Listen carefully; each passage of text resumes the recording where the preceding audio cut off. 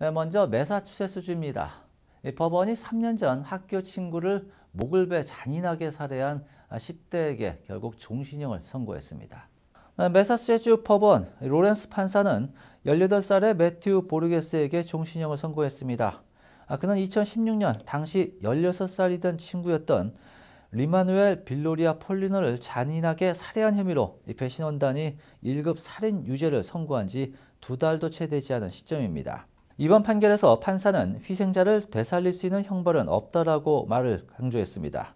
아, 피고인 보르게스는 법정 내내 엄연한 표정을 유지하며 형량이 선고될 때 뚜렷한 감정 기복을 드러내지 않았습니다. 희생자 가족들은 그가 다시는 살인할 기회를 주지 말아야 된다며 눈물을 흘려내리기도 했습니다. 아, 그는 30년 뒤에 가석방 자격이 주어질 수 있다고 하는데요. 이와 관련해 변호인 측에서는 25년 뒤에 가석방 자격을 받아야 된다며 주장하고 있습니다.